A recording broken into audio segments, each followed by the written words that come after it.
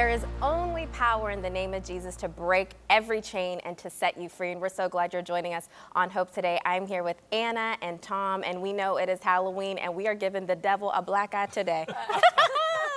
Amen to that. Well, let me ask you have you ever had a problem you just couldn't seem to beat? A spiritual problem, maybe a sin you struggled with, or maybe you've noticed the same kind of problems seem to be popping up in your family tree from generation to generation. Well, our guest, Alexander Pagani, is going to be with us. He's going to share secrets to generational curses. What are they? And how can we be free of them? And I think that's the key, guys. That's the key, Anna. Freedom for people today. Yeah, I don't know about you at home, but sometimes we're in these seasons where we just say, like, something has to break. Like, something needs to change in the family, something needs to change in the circumstances. And we know that our God is greater and that we can come to Him. We can call on His authority. He has given us authority. We can come to Him in boldness. And so today truly is going to be just a great conversation that we don't have to live in places where we are stuck, where we are constantly battling and feeling defeated.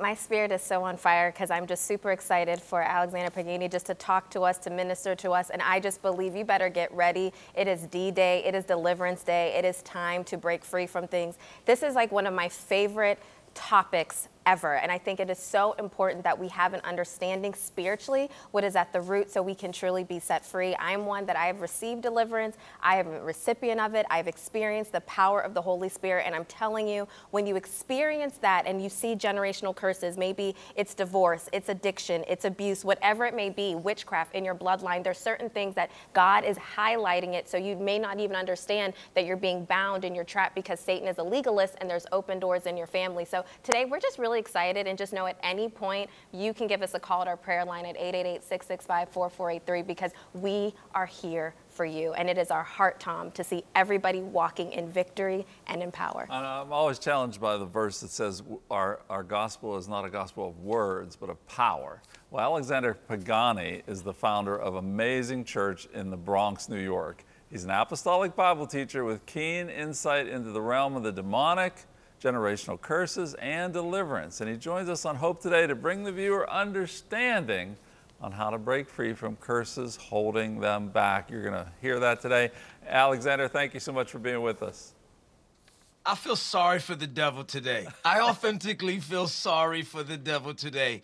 And for the viewers that are watching this, whether live or on a replay, why? Because today, Jesus, the curse breaker, is going to shatter every curse in your life and send the devil back to hell where he belongs in Jesus' name. Oh, what a fantastic promise for the program. That's my intro, today. sir. That's my intro. That's the way to do it, right there.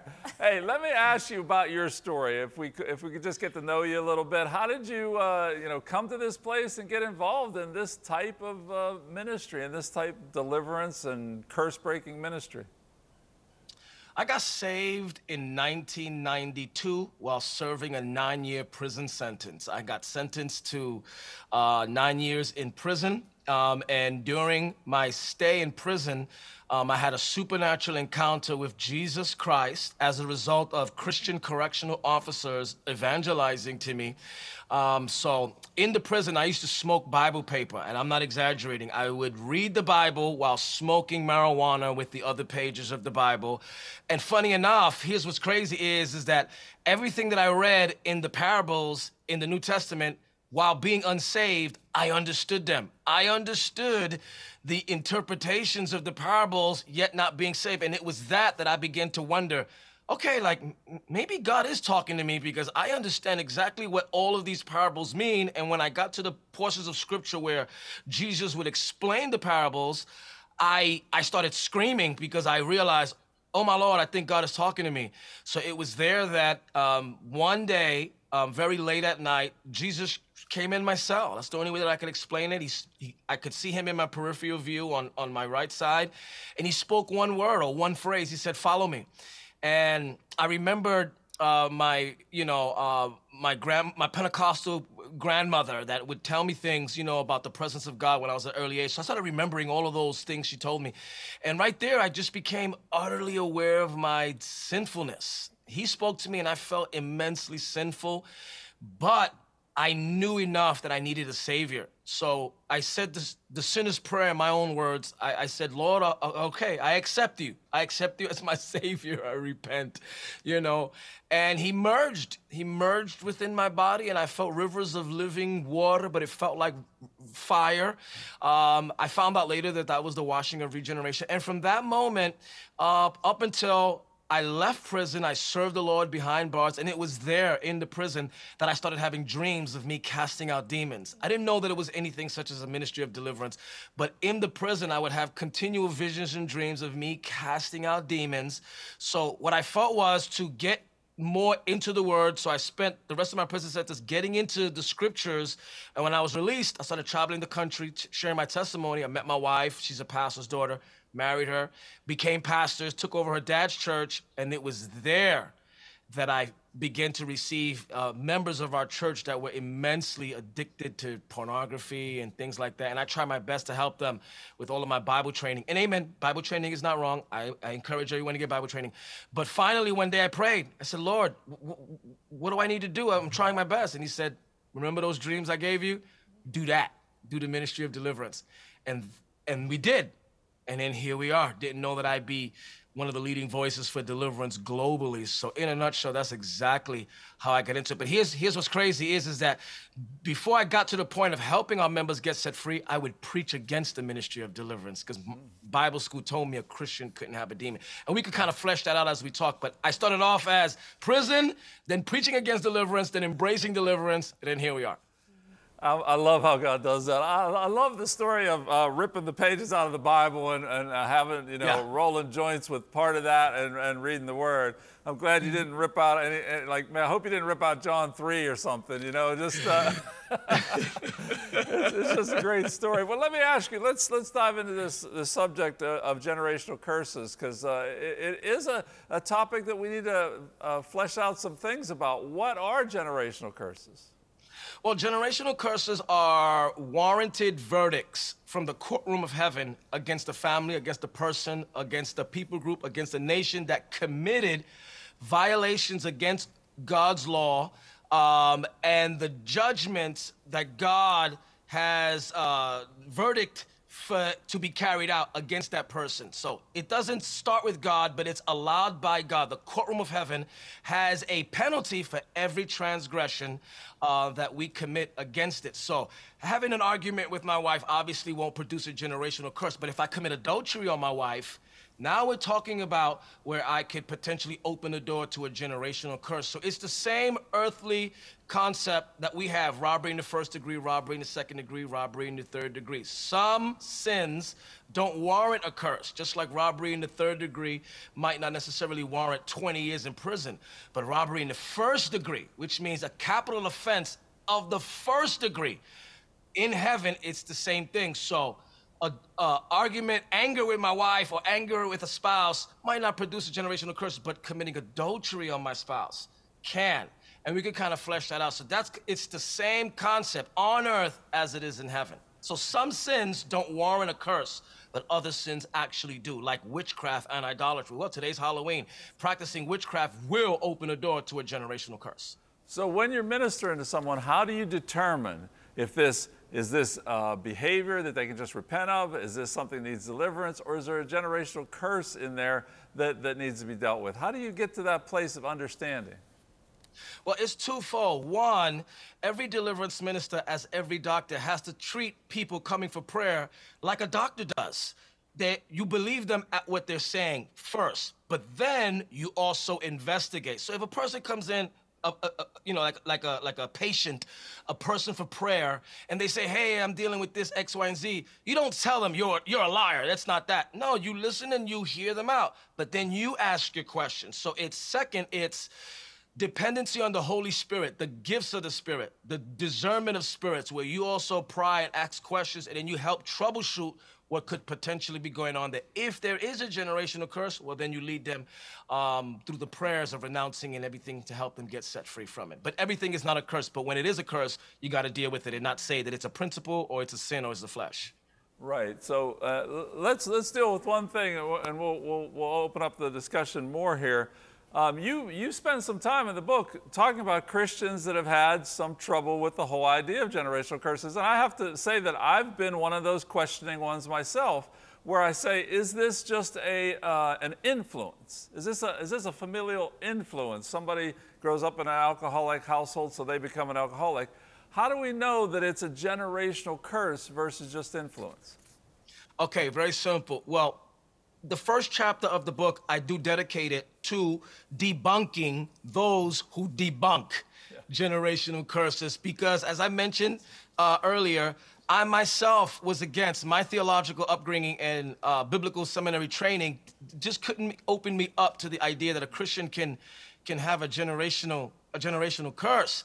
But then I began to notice uh, habitual patterns of behavior with people who said, I'm doing everything right to not do that. Why am I still doing it? And I began to explore the idea that maybe there might be some demonic influence going on there. And when we begin to explore that, well, obviously we wrote the first book, Secrets to Deliverance. We crash course right into the demonic. But then after the demonic gets resolved through a deliverance session and certain problems still persisted, I began to say, Lord, either we're teaching wrong or they're believing wrong. And the Holy Spirit said, there's a third element that you're missing generational curse. You know, things being transferred down the bloodline, and therefore started my journey of five years of really digging into the scriptures. And we actually found that there is a biblical premise for generational curses for the believer. So, can you go deeper into that? Because I think this is something that is so crucial that people may not understand. Like, I know even in my own family, it's like, okay, why are these things happening? But it's a very, very real thing. Right. Okay. So, the, to help answer that question, one, it's, it's a drawn out answer, but can a Christian have a generational curse?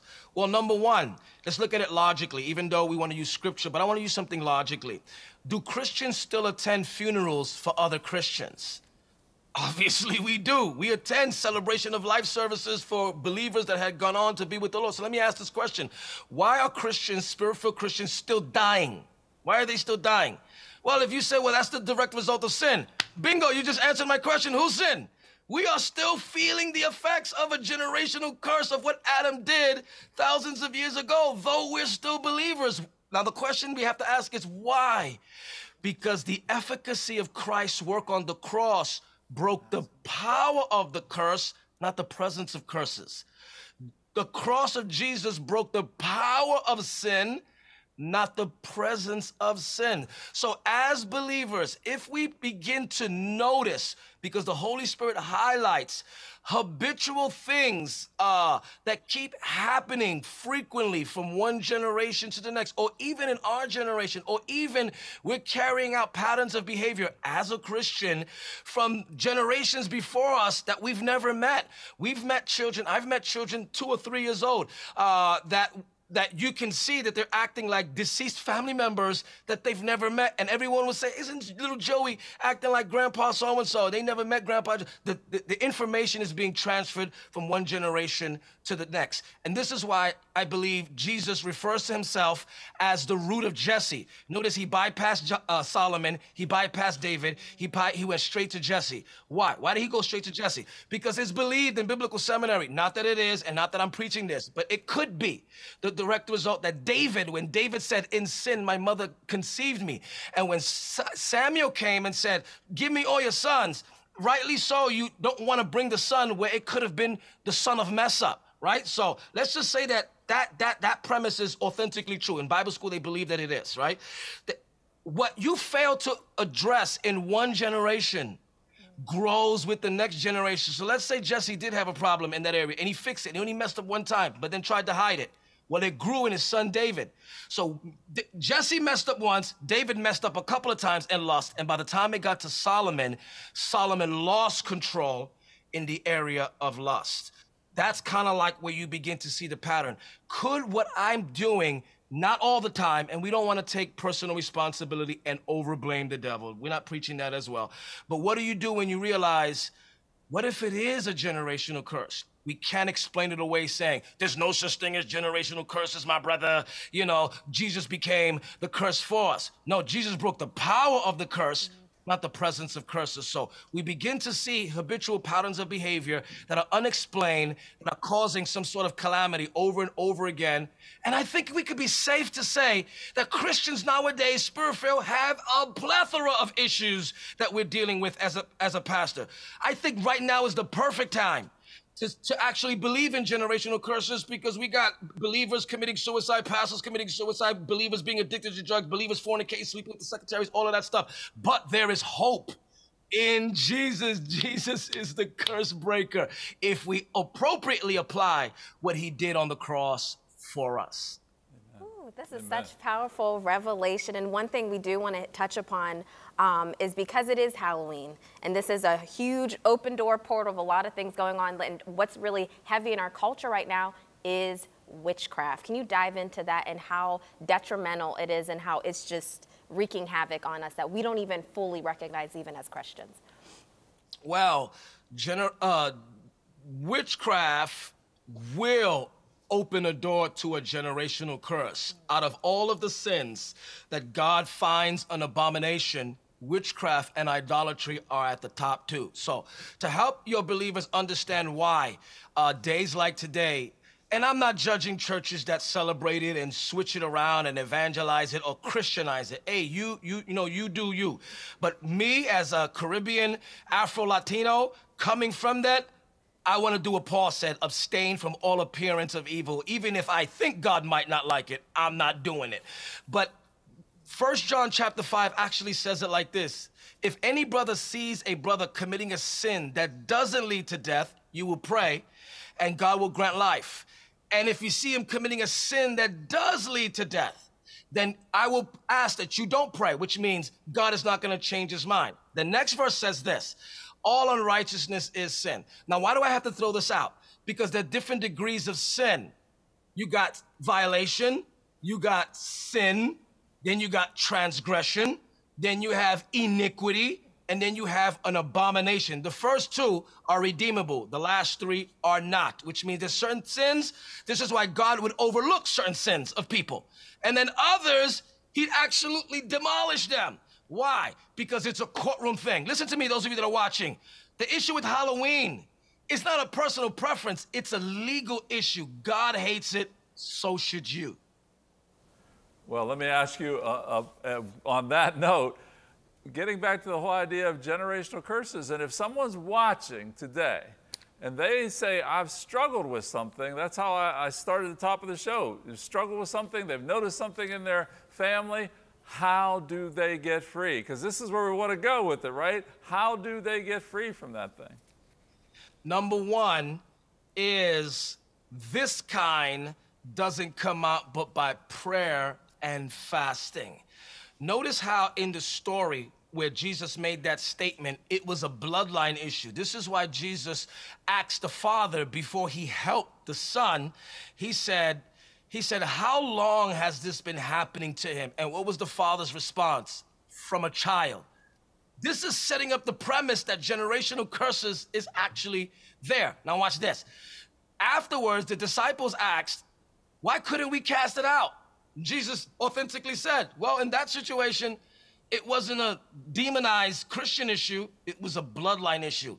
And this kind doesn't come out but by prayer and fasting. So the first way that you begin the process of resolving potential generational curses that a Christian might believe could be the root cause of, of their potential uh, uh, habitual sins that they're committing is get into a season of into a season of getting along with God, into a season of separating yourself and really pressing in and wanting to know, okay, Lord, Lord, is this really what's really going on here? You know what frustrates me about I'm not gonna say Christians because I'm a Christian here, is that we always want quick fixes.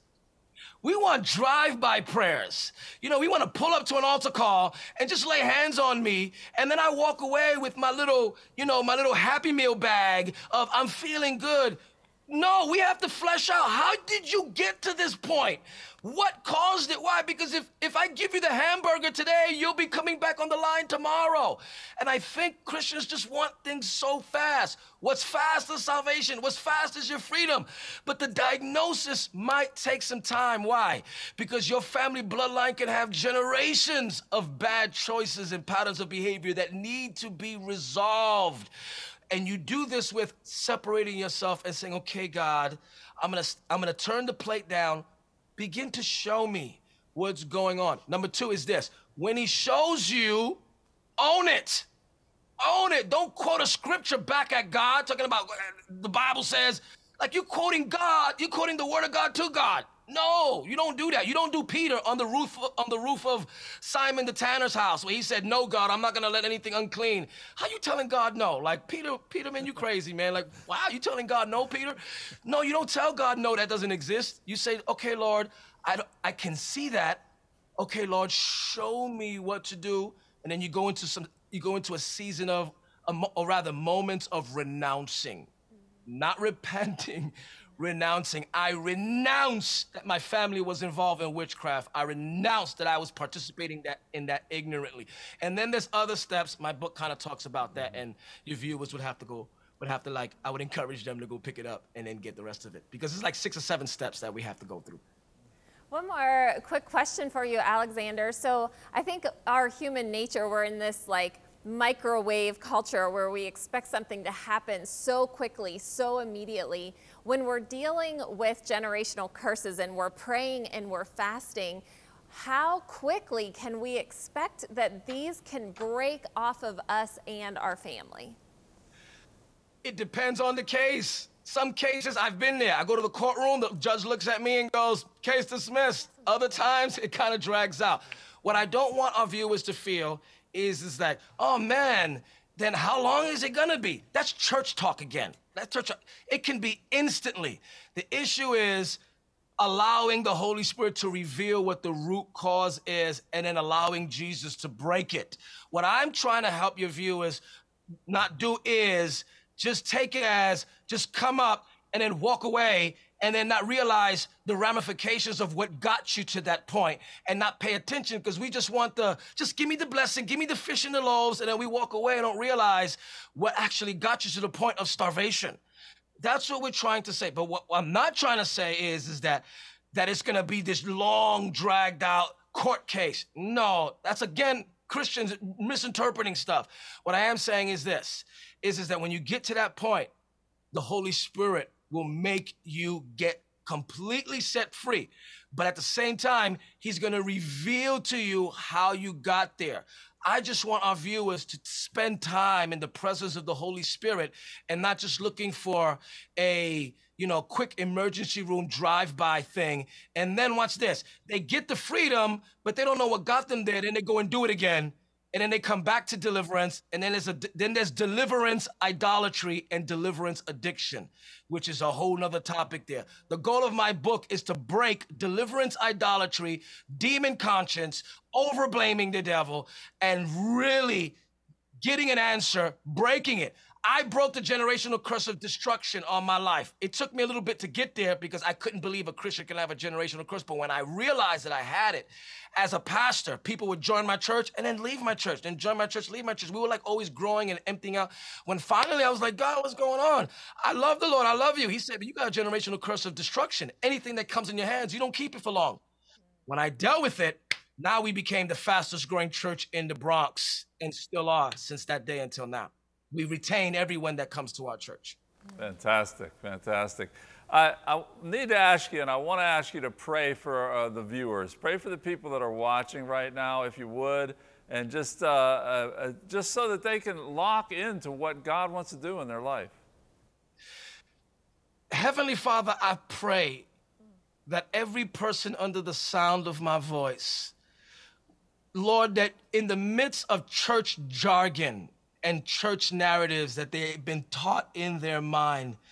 Father, invade that and speak to them beyond all of those theological and religious barriers that are there of how they believe this uh, ministry of deliverance uh, is supposed to be appropriated. And Father, find them. And I pray that as you find them in the midst of all of that, Lord, you would bring revelation to them, Holy Spirit. Guide them into all truth. And then inspire them to make the necessary uh, decisions, Lord, for their freedom. I come against spirit of confusion, religious spirit, spirit of causing them to be lost in churchanese language, wandering in misunderstanding. I bind your works now in the name of Jesus. And Father, I speak clarity to their minds, Lord, in the name of Jesus. And Father, I pray for every person that's bound now. I command every unclean spirit to loose their mind, release them now in Jesus' name.